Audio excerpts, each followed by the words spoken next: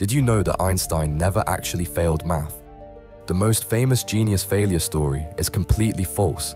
Einstein mastered calculus by age 15 and excelled in mathematics throughout his education.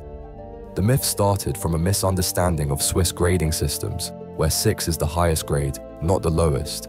But this false story spread like wildfire because people desperately wanted to believe that genius comes from dramatic failure.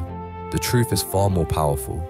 Einstein himself said he had no special talent, only passionate curiosity. While others gave up on problems after minutes, he spent 10 hours daily working through them his breakthrough thinking came from relentless effort and breaking complex problems into simple parts. No dramatic comeback story, just sustained intellectual work day after day. This reveals something profound about real achievement. It's not about overcoming spectacular failure, it's about showing up consistently when nobody's watching. True genius isn't born from failure, it's built through disciplined curiosity.